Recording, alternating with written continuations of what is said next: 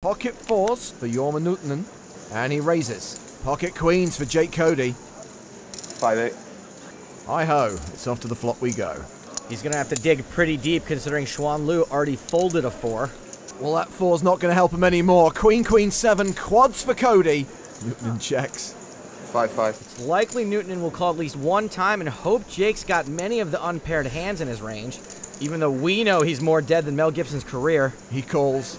Five of clubs. Jake bets again. Easily see Nuutinen calling again, thinking Jake's just barreling. He does call 10,500 apiece to the river we go. It's the case four on the river! Oh, the price of that ticket just went up to everything you've got. Seventeen five. Cody bets for value, 17,500. I'm all in. He shoves. I call. Oh, wow. Nice river.